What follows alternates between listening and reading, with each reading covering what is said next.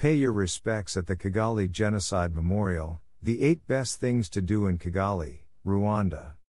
In April 1994, members of the Hutu majority government of Rwanda initiated a genocide against the Tutsi people after decades of conflict between the two ethnic groups.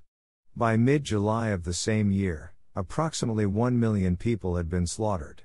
259,000 of them are buried in mass graves at the Kigali Genocide Memorial, home to three permanent exhibitions, the largest of which is dedicated to commemorating the events and victims of the Rwandan genocide.